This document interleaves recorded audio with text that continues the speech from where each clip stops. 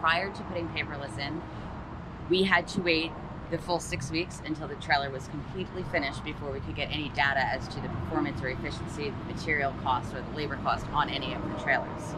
Um, with paperless and the immediate real-time collection of data from the shop floor, we're able to see at any step within the process.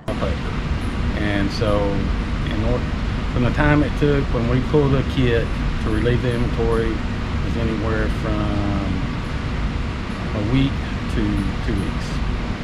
We used to do everything on a piece of paper, so all of the inventory transactions were written down. A single person had to spend hours and hours and hours issuing every piece of material to the trailer, and then they would get the information on cost of the parts um, and the cost of the trailer, as well as all of the hours would finally get there when it was completed.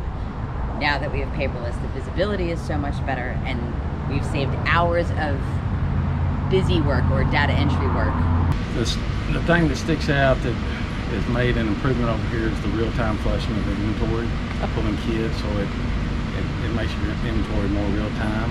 That has been a showstopper. Everybody knows how to use it, has picked up on how to use it, and is more of a is a simpler tool than what a lot of people thought it was going to be.